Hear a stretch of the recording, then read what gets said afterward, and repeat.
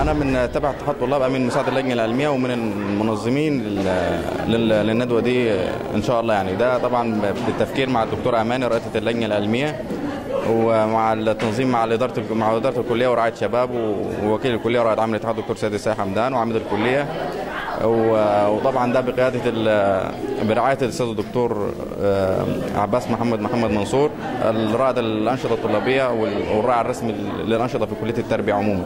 الدورة دي طبعا دورة كانت رائعة بغ- ب- بنخبه نخبة من اساتذه الجامعة والمدرسين والدكاترة في مختلف الكليات وكلية التربية. أول يوم طبعا استفدنا كان مع الدكتور عبد الناصر خليل شخصية رائعة جدا الشخص الخلوق يعني فوق معنى الكلمة يعني.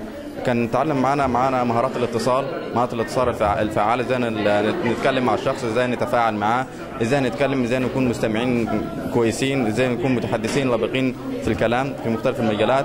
آه ان إحنا نعرف ننظم وقتنا نعرف آه، نتكلم نعرف نخطط نعرف نعمل كل حاجة. وفي اليوم الثاني برضو كان معنا الدكتور آه، محمد عز.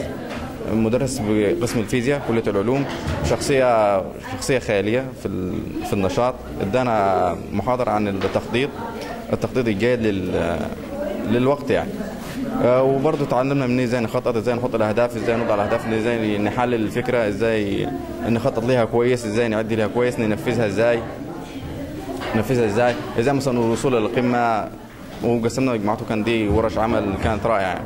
والنهاردة إن شاء الله هو اليوم الثالث مع الدكتور أمير الدكتور الأمير حسين مدرس. مدرس. بكلية العلوم عن. عن ريادة الأعمال والتفكير الإبداعي وإن شاء الله الدكتور أمير يعني هيفيدنا بخبراته ال- الكبيرة ومعلوماته الواسعة في التدريب ده إن شاء الله ودينا مستمرين زي ما أنتم شايفين